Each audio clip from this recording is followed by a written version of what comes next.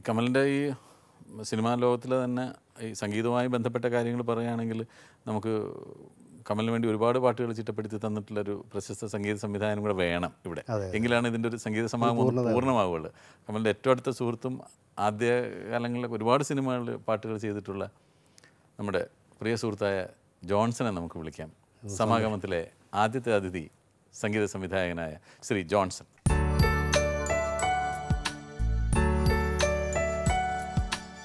ഞങ്ങൾ സംസാരിച്ചുകൊണ്ട് വന്നത് ഈ കമലിന്റെ പടങ്ങളിലെ പാട്ടുകളുടെ സിറ്റുവേഷൻസ് അല്ലെങ്കിൽ കമൽ സെലക്ട് ചെയ്യുന്ന പാട്ടുകൾ അത് തുടക്കം മുതലേ കമലിന്റെ സിനിമാ ജീവിതത്തിന്റെ തുടക്കം മുതലേ എല്ലാ സിനിമകളിലും കറക്റ്റ് സിറ്റുവേഷൻസിൽ പാട്ട് വരുന്നു. പാട്ടുകൾ സെലക്ട് ചെയ്യുന്നു. പാട്ടുകളുടെ ട്യൂണുകൾ ഫൈനലൈസ് ചെയ്യുന്നതിലൊരു മിടുക്ക്. അത് പിക്ചറൈസ് ചെയ്യുന്നതിലൊരു വൈദഗ്ധ്യം. അതിനെപ്പറ്റിയാണ് അപ്പോൾ പാട്ടുകൾക്ക് ഒരുപാട് പ്രാധാന്യം കൊടുത്തിട്ട് സിനിമ എടുക്കുക എന്നാൽ സംഗീത പ്രാധാന്യമുള്ള സിനിമയൊന്നും എടുത്തിട്ടില്ല ഇതേവരെ. ഒരു സംഗീതജ്ഞന്റെ കഥയോ അങ്ങനെ ഒന്നും എടുക്കാറുമില്ല. പക്ഷെ പാട്ടുകൾക്ക് ഇത്രയധികം ശ്രദ്ധ കൊടുക്കുന്നതിനെ കാര്യത്തെ പറ്റിയാണ് സംസാരിച്ചുകൊണ്ടിരുന്നത് അപ്പോൾ ജോൺസൺ കൂടെ വന്നാലാണ് അതിന്റെ ഒരു പൂർണത വരുള്ളൂ. എനിക്ക് തോന്നുന്നത് കമലിന് പേഴ്സണലായിട്ട് എന്തോ പാട്ടുകളോട് വലിയ താല്പര്യമുണ്ടെന്ന് തോന്നുന്നുണ്ട്. പക്ഷെ കമൽ പാടുകയില്ല മൂളുകയില്ല ഒന്നും അങ്ങനെ ബാത്റൂമിലൊക്കെ പാടും. അതല്ലല്ല നമ്മൾ കമ്പോസിങ് ഏറ്റവും മുളക് പാടുകയൊക്കെ ചെയ്യും അതെ. അതൊന്നും കുഴപ്പമില്ല. പക്ഷെ സംഗീതം പഠിച്ചിട്ടില്ല. ഞാൻ എനിക്ക് സംഗീതത്തിന്റെ ഒന്നും അറിയില്ല. രാഗങ്ങളെ പറ്റിയൊക്കെ പറഞ്ഞു കഴിഞ്ഞാൽ ഏത് രാഗം എന്താണെന്നൊന്നും അറിയില്ല. പക്ഷെ നമുക്ക് കേട്ടാൽ നമുക്ക് അറിയാം ഏകദേശം. അല്ല പർപ്പസ് അറിയാലോ? ചിലപ്പോൾ ഈ അതാ എന്താ പറയുക അറ്റ്ലീസ്റ്റ് ആ ബേസിക് മൂഡ് കമലിന് മനസ്സിലാവുമല്ലോ അല്ലേ നമ്മൾ ഇപ്പോൾ ഒരു വളരെ മുമ്പ് എഴുപതുകളിലോ അല്ലെങ്കിൽ ഒരു അറുപതുകളുടെ അവസാനങ്ങളിലൊക്കെ സംവിധാനം ചെയ്തിരുന്ന ഒരാളായിരുന്നെങ്കിൽ ഒരു കവിത ട്യൂൺ ചെയ്ത് കേട്ടിട്ട് സെലക്ട് ചെയ്യാം. എനിക്കിത് വേണ്ട അല്ലെങ്കിൽ എനിക്കിത് വേണമെന്ന് പറയാം. ഇതല്ല ഒരു സിറ്റുവേഷൻ പറഞ്ഞിട്ട് ജോൺസൺ ഹാർമോണിയത്തിൽ വായിച്ചു കൊടുക്കുന്ന ഒരു ഒരു മൂളലിൽ നിന്നാണ് അല്ല അത് കൺസീവ് ചെയ്യാൻ ഇത്തിരി എല്ലാവർക്കും പറ്റിയെന്ന് വരില്ല ശരിയാ. മറ്റത് നമ്മുടെ കാലഘട്ടം ആകുമ്പോഴേക്കും അത് തല തിരിഞ്ഞു. അതെ അതെ അതെ. മറ്റേത് ഞങ്ങളുടെ ഞങ്ങളുടെ ഭാഗത്തുനിന്ന് ഈസി ആയിരുന്നു. ഈ ക്രിയേറ്റീവ് വർക്ക് എന്ന് പറയുമ്പോൾ ഇപ്പോൾ ഒരു കവിത എഴുതിയിട്ട് നമ്മുടെ കൈ കിട്ടുമ്പോൾ അതിന് അതിൽ നിന്ന് ഇൻസ്പയർ ചെയ്യാം കമ്പോസർക്ക് മ്യൂസിക് ഡയറക്ടർക്ക് ഇതിപ്പോൾ ഇപ്പോൾ ചെയ്യുന്ന മെത്തേഡിൽ ശരിക്കും പറഞ്ഞാൽ മ്യൂസിക് ഡയറക്ടർ ഇനിയും ടാലന്റഡ് ആവണം. കാരണം ഫസ്റ്റ് മൂഡ് കൊടുക്കുന്ന ഇപ്പോൾ തിരിഞ്ഞു ഇദ്ദേഹമായി. ഇപ്പോൾ എന്താ വെച്ചാൽ സത്യത്തിൽ ഇപ്പോൾ കമ്പോസിങ്ങിന് ഇരിക്കുമ്പോൾ നമ്മൾ വെച്ചാൽ ആദ്യം കഥ പറയും. കഥ പറഞ്ഞിട്ട് സോങ് സിറ്റുവേഷൻ പറഞ്ഞിട്ട് നമ്മളിപ്പോൾ ഞങ്ങളൊക്കെ ചെയ്യുന്നത് എങ്ങനെ വെച്ച് കഴിഞ്ഞാൽ എനിക്ക് ഇങ്ങനത്തെ പാട്ടാണ് വേണ്ടത്. അതിപ്പോൾ ഒരു പാട്ട് പറഞ്ഞിട്ട് ഇത് നേരത്തെ വന്നപ്പോൾ ജോൺസന്റെ മാസ്റ്റർ പാട്ട് പറഞ്ഞിട്ടല്ല പറയാം. ഈ ഒരു ഫീലുള്ള ഒരു പാട്ട് വേണം എന്ന് പറഞ്ഞിട്ട് അത് ഇങ്ങനെ നമ്മൾ കുറേ പ്രാവശ്യം പറയുമ്പോൾ ഇത് ഇപ്പോൾ ജോൺസൺ ആണെങ്കിൽ പറയും നമുക്ക് ഇങ്ങനത്തെ ഇങ്ങനെ ആയാലോ അങ്ങനെ ആയാലോ എന്ന് പറഞ്ഞ് കുറേ നേരം ഡിസ്കസ് ചെയ്തതിന് ശേഷം ഇപ്പോൾ ഞങ്ങളുടെ ഒരു അനുഭവം വെച്ച് പറയുകയാണെങ്കിൽ ഹാർമോണി പെട്ടി ഇങ്ങനെ എടുത്ത് വെക്കും. ആ എടുത്ത് വെക്കുന്നത് തന്നെ ഒരു വല്ലാത്ത മൊമെന്റ് ആണ്. എന്നെ സംബന്ധിച്ചോളം എനിക്കല്ലേ അതങ്ങ് എടുത്ത് അതങ്ങ് തുറന്നു അല്ല ഇതിൽ ഒരു ഒരു കാര്യം എന്ന് വെച്ചാൽ നമ്മൾ സ്റ്റോറി ലൈൻ ചുരുക്കമായിട്ട് കേൾക്കുമല്ലോ. അപ്പോൾ അതിൽ നിന്ന് തന്നെ നമുക്ക് ഏകദേശം ഈ കഥാപാത്രങ്ങളുടെ ഒരു വ്യാപാര രീതി. ഇതിന്റെ ഒരു പശ്ചാത്തലമൊക്കെ നമ്മൾ നമുക്ക് മനസ്സിലാവും. വേറൊന്ന് ബേസിക്കായിട്ട് ഞാൻ ശ്രദ്ധിക്കാറുള്ളത് ഇതുവരെ ചെയ്തിട്ടുള്ളത് നമ്മൾ ഇത് സിനിമയിൽ നിന്ന് വിട്ട് ഇതിനൊരു ആസ് എ സോങ് ഇതിനൊരു സംഗതി ഉണ്ടെങ്കിലും പക്ഷേ ഫസ്റ്റ് ആൻഡ് ഫോർമോസ്റ്റ് നമ്മൾ സിനിമ വെച്ചിട്ടാണ് അത് നോക്കുന്നത്. ഈ സിനിമയുടെ ഈ സിനിമയ്ക്ക് ആ കഥയ്ക്ക് ആ ആ സിറ്റുവേഷന് കറക്റ്റ് ആവാന്നുള്ളത് ഞാൻ ചെയ്യാറുള്ളത്. അതപ്പുറത്ത് വേറൊരു എക്സിസ്റ്റൻസ് ഒരു പാട്ട് എന്നുള്ള നിലയ്ക്ക് വന്നാൽ നമ്മൾ ഭാഗ്യവന്മാരായി. അല്ലേ? അങ്ങനെ അത് നല്ല ഒരു സംഭവം പക്ഷേ ആത്യന്തികമായിട്ട് കഥയുടെ സിറ്റുവേഷന് കറക്റ്റ് ആവുക സിനിമയ്ക്ക് കറക്റ്റായിട്ട് യോജിക്കുക എന്നുള്ളതാണ്. ഇപ്പം ഞാൻ നേരത്തെ സ്ഥിതിക്ക് ചോദിച്ചില്ലേ എങ്ങനെയാണ് ഒരു ട്യൂൺ ട്യൂൺ സെലക്ട് ചെയ്യാന്ന് ചോദിക്കുന്നത്? സത്യം പറയണെങ്കിൽ ഇപ്പോൾ ഈ പറഞ്ഞ ഒരു കമ്പോസ് ചെയ്യുമ്പോൾ ചിലപ്പോൾ പല പടത്തിലും ആദ്യത്തെ ട്യൂൺ തന്നെ. വെരി ഫസ്റ്റ് ഇടുന്ന ട്യൂൺ ഞാൻ ഓക്കെ പറഞ്ഞു അങ്ങനെയുള്ള പാട്ടുകളെല്ലാം ഹിറ്റ് ആയിട്ടുണ്ടല്ലോ? ഉറപ്പാണ്. അത് അത് അതാണ്. അതൊരു ഒരു ഇതാണ്. അത് ഹിറ്റ് ആവും എന്നുള്ളത് ഉറപ്പാണ്. അത് ചില ഒത്തുവരലാണ് നമ്മൾ. അല്ലാതെ ഹിറ്റ് ഹിറ്റിന് നമ്മുടെ ആരുടെയും ഒരു ഫോമില്ല അല്ല അല്ല അതിപ്പോൾ എവേ ഫ്രം ദ സോങ് ഇതിനൊരു നിലനിൽപ്പുണ്ട്. സിനിമ ഗാനത്തിന് നമ്മുടെ നമ്മുടെ പോപ്പുലർ സിനിമ മ്യൂസിക് എന്ന് പറഞ്ഞാൽ ഇപ്പോഴും സിനിമ പാട്ട് തന്നെയാണ് അതെ. പുറത്തെ പോലെ റോക്ക് റോക്ക് മറ്റേ ഇൻഡിവിജ്വൽ സിംഗേഴ്സിന്റെ ആൽബം എന്നൊക്കെ കുറച്ച് ട്രയലുകളൊക്കെ നടന്നെങ്കിലും ഇപ്പോഴും എനിക്ക് തോന്നുന്നു നമ്മുടെ ജനത്തിന്റെ പോപ്പുലർ മ്യൂസിക് എന്ന് പറഞ്ഞ സിനിമ പാട്ട് തന്നെ. എന്തൊക്കെ ബാക്കി ഭക്തിയും തനിച്ച് ആൽബമൊക്കെ വന്നാൽ പോലും. അത് ആ അപ്പോൾ താൽക്കാലികമായിട്ട് നിലനിൽക്കും. അത് കഴിഞ്ഞാൽ നിൽക്കില്ല. സിനിമാ പാട്ട് എന്നും നിലനിൽക്കുള്ളൂ. നമ്മൾ ഇത് ഈ പാട്ട് ഹിറ്റാവണം നല്ല ഐഡിയ. ഈ പാട്ട് ഈ സിനിമയ്ക്ക് ചേരണം ഫസ്റ്റ് എന്നിട്ട് അപ്പുറത്തും കൂടി നിൽക്കുകയാണെങ്കിൽ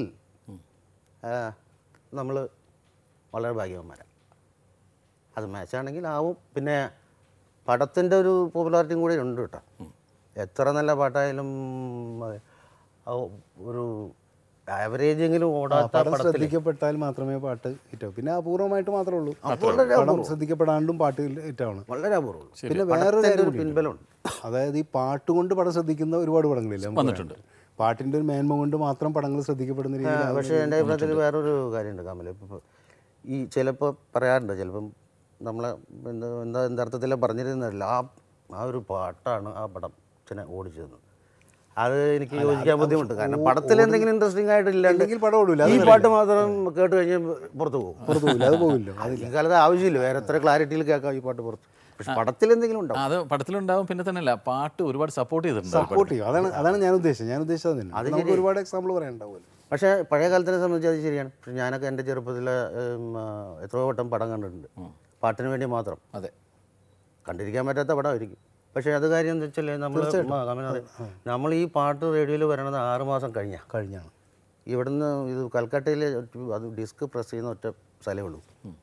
അപ്പോൾ അവിടെ പോയി ഇത് ഡിസ്കായി വന്നിട്ട് വേണം നമുക്ക് എ ആറിൽ കേൾക്കാം കേൾക്കാനായിട്ട്. അപ്പോഴേക്കും പടം റിലീസ് ആയിട്ടുണ്ടാവോ ഓ പടം റിലീസ് കഴിഞ്ഞിട്ട് ഒരു ആറ് മാസങ്ങളെ ആവും ഡിസ്ക് വരാൻ. അതിപ്പോൾ നമ്മളൊക്കെ സെക്കൻഡ് റണ്ണൊക്കെ വരുമ്പോഴാണ് പടം കാണുന്നതുകൊണ്ടാണ് നമ്മളൊക്കെ ആകാശവാണിയിൽ പാട്ട് കേട്ട് കുറേ കാലം കഴിഞ്ഞാൽ നമുക്ക് ആ സിനിമ കാണാൻ അവസരം നമ്മുടെ കാലഘട്ടത്തിൽ അതിന് മുമ്പുള്ള കാലഘട്ടം ഞാൻ. സിക്സ്റ്റീസ് ഈവൻ സെവന്റീസിൽ വരെ. ഇപ്പം നമ്മുടെ കാലഘട്ടത്തിൽ മദ്രാസിൽ നിന്നൊക്കെ പഞ്ച് ചെയ്ത് വരാൻ തുടങ്ങി എച്ച് എം പി അവിടെയൊക്കെ ആയി കഴിഞ്ഞു. പക്ഷേ പഴയ ആ ഒരു കാലഘട്ടം ഇപ്പോഴുള്ള ഒരു പ്രധാന വ്യത്യാസം പണ്ട് പാട്ടിന്റെ പിക്ചറൈസേഷൻ അത്ര ഒരു വാല്യൂ നമ്മൾ കൊടുത്തിരുന്നില്ല. ഇന്ന് അതല്ല പിക്ചറൈസേഷൻ നന്നായില്ലെങ്കിൽ ആൾക്കാർ പാട്ട് അക്സെപ്റ്റ് ചെയ്യില്ല. കാരണം അതിന് കാരണം എന്ന് വെച്ച് കഴിഞ്ഞാൽ ടെക്നോളജി ടെക്നോളജി മാറി. അതോടൊപ്പം തന്നെ ഈ വിഷ്വൽസ് ആൾക്കാരെ ഭയങ്കരമായിട്ട് സ്വാധീനിക്കാൻ തുടങ്ങി. പണ്ട് നമുക്കറിയാം ടെലിവിഷനൊന്നും ഇല്ലാത്ത കാലത്തിൽ ഒരു പടത്തിൽ എങ്ങനെയായിരിക്കും ഈ പാട്ട് പിക്ചറൈസ് ചെയ്തേക്കുന്നത് നമുക്ക് ഭയങ്കര സങ്കല്പങ്ങളായിരുന്നു. ഇല്ലേ? ഇന്ന് അങ്ങനെയല്ല അപ്പം കാണുകയില്ല ജനം. അപ്പോൾ അപ്പം സിനിമ റിലീസിന് മുമ്പ് തന്നെ പാട്ട് ജനങ്ങൾ കാണില്ല അപ്പം തീരുമാനിക്കും അല്ല അത് വേറെ ഒന്നും കൊണ്ടുണ്ട് നമ്മളിപ്പോൾ പണ്ട് ഇപ്പം ഈ വിഷ്വൽ അത്ര അങ്ങോട്ട് ശ്രദ്ധിച്ചിരിക്കാൻ വഴിയില്ല. ട്യൂണും ലിറിക്കും തമ്മിലൊരു ബ്ലണ്ടില്ലേ? ഇല്ലേ അതുപോലെ നമ്മുടെ ടെക്നോളജി വന്നപ്പം ഈ ഓഡിയോയും വിഷ്വലും തമ്മിലൊരു ബ്ലെൻഡ് വേണമെന്നായി. അല്ല അതിന് കാരണമുണ്ട് തരാം അതിന് അത് വേണമെന്നായി മസ്റ്റായി. മെച്ചല്ലാത്തൊരു ഷോട്ട് വന്നാൽ പോലും രസിക്കാൻ പറ്റാത്ത വിധത്തിലായി. അതുകൊണ്ടാണ് പലപ്പോഴും നമ്മൾ നന്നായിട്ട് പാട്ട് പിക്ചറൈസ് ചെയ്തെന്നൊക്കെ പറഞ്ഞിട്ട് പറയണത് എങ്ങനെയാണെന്ന് വെച്ചാൽ ഞാൻ മനസ്സിലാക്കിയെടുത്തോളം എന്റെ ഒരു അറിവനുസരിച്ച് കറക്റ്റ് താളബോധം ഉണ്ടാവുക എന്നുള്ളതാണ്. അത് മ്യൂസിക് ഡയറക്ടർക്ക് ഉള്ള മാതിരി തന്നെ സംഗീത സംവിധായകനും അല്ലെങ്കിൽ ലിറിക് റൈറ്റർ അല്ലെങ്കിൽ എല്ലാവർക്കും ഉള്ള മാതിരി തന്നെ സംവിധായകനും ക്യാമറാമാനും ഈ താളബോധം ഉണ്ടെങ്കിൽ മാത്രമേ ശരിക്കും ഒരു പാട്ട് വന്നിട്ട് പിക്ചറൈസ് ചെയ്യാൻ പറ്റൂ. അതുകൊണ്ട് തന്നെ നമ്മൾ പറയില്ലേ പലപ്പോഴും ഇപ്പം ഞാനൊക്കെ ആദ്യകാലത്ത് ശ്രദ്ധിച്ചിരുന്നൊരു കാര്യം എന്ന് വെച്ച് കഴിഞ്ഞാൽ ഏറ്റവും നന്നായിട്ട് മലയാളത്തിൽ പാട്ട് തരുന്ന ചില ഡയറക്ടേഴ്സിനെ നമുക്ക് പറയാം. വിൻസെന്റ് മാഷ്. എന്റെ ഓർമ്മയിൽ ഏറ്റവും നന്നായിട്ട് പാട്ട് തരുന്ന കാര്യം ബസുമതി ഋതുമതി ഒക്കെ നന്നായിട്ട് എടുത്ത് കറക്റ്റ് താളത്തിലൊക്കെ ഷോട്ട് കട്ട് പിന്നെ നദിയിലെ പാട്ട് പിന്നെ ഭരതേട്ടൻ. അങ്ങനെ ആ ഒരു ജനറേഷൻ വന്നിട്ട് ശരിക്കും ഞങ്ങളെയൊക്കെ അത് ഭയങ്കരമായിട്ട് സ്വാധീനിച്ചിട്ടുണ്ട്. അപ്പോൾ ഈ കറക്റ്റ് താളത്തിൽ ഷോട്ട് കട്ട് ചെയ്യുക. ഇവർ അതാണ് ചില സ്ട്രോക്ക് മാത്രമൊക്കെ ചിലപ്പോൾ ഇടും. ഗിറ്റാറിലൊക്കെ ഇടും. അതിന് കൃത്യം ഷോട്ട് വന്നു കഴിഞ്ഞിട്ടുണ്ടെങ്കിൽ അതാണ് അതിന്റെ ഒരു ബ്യൂട്ടി ആയിട്ട് പിന്നീട് പിക്ചറൈസേഷൻ നന്നാവുന്നു എന്ന് പറയുന്ന പിന്നെ ടെക്നിക്ക് അങ്ങനെയാണ് വന്നത് പ്രൊഡക്ഷൻ ഒരു സിനിമ പ്രൊഡക്ഷൻ പറഞ്ഞ് പ്രാക്ടിക്കലായിട്ട് പറയും. അന്നേരത്ത് സമയം ഉണ്ടായില്ല. ഡീറ്റെയിൽ ആയിട്ട് ചെയ്യാൻ പറ്റിയില്ല എന്നുള്ള എക്സ്ക്യൂസുകളുണ്ട് അതൊന്നും എക്സ്ക്യൂസ് അല്ല ചില ചിലപ്പോൾ അങ്ങനെ വന്നിരിക്കാം. വന്നിരിക്കാം. ഈ ഇപ്പോൾ ഇതിലൊക്കെ ആളുകളും എല്ലാവരും കുറെ കൂടി സീരിയസ് ആയി. അതായത് സിനിമയ്ക്ക് മാച്ച് ആവുന്ന പാട്ടായിരിക്കണം. അല്ലേ? സിനിമയുടെ കഥാപാത്രത്തിന് യോജിക്കുന്ന പാട്ട്. പണ്ട് അങ്ങനെയൊന്നുമില്ല. നസീർ സാറിന്റെ സി ഐ ഡി പടത്തിലാണ് ഈശ്വരനു വിരുന്നിനു പോയി എന്നുള്ള പാട്ടുള്ളത്.